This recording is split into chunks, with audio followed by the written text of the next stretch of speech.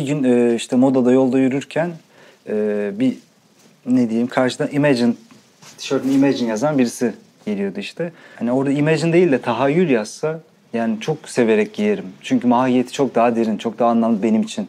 Ya dedik hani öyle bir tişört e, işi yapabilir miyiz diye başladı her şey değil mi?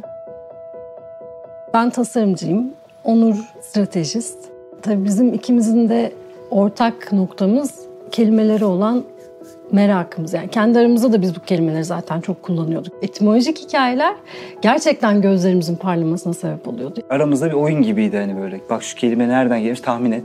Eşya kelimesinin şeyden geldiğini hani öğrenince ya bu hani Bizi çok inanılmaz heyecanlandırdı. heyecanlanıyorduk. Bu kelimelerin reklamını yapamaz mıyız pek dedik. Eğer ki bu etimolojik hikayeleri insanlara öğretebilirsek herkes bu heyecan duyar.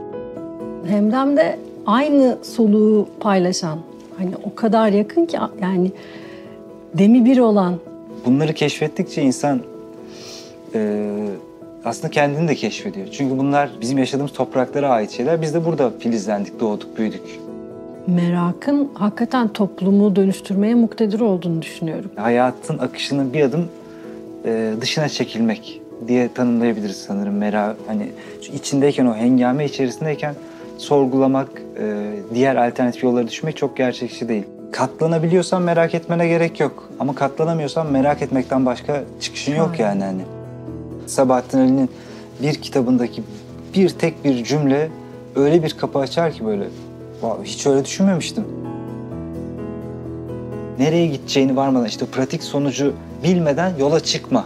Böyle değil yola bir çık. Yola çıktığında ne aradığını bilmeden de çıksan yolda zaten şekilleniyor ve ha ben bunu arıyormuşum diyebiliyor insan. Bazen bizi seven insanlar bile hani bizi korumak adına o merakı köreltebilirler. Merak alanı her neyse o merak alanını besleyecek kişilerle bir arada olmak. Bizim meraklarımız çok güzel örtüştüğü için birbirimizi hep e, bir o beni bir ben onu birbirimizi yukarı taşıdık.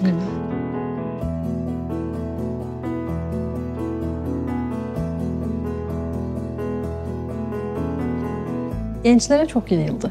Hiç başka bir yerden öğrenemeyecekleri o kelimeleri kendi gündelik hayatlarında kullanmaya başladılar. Kankaları, hemdemleri oldu.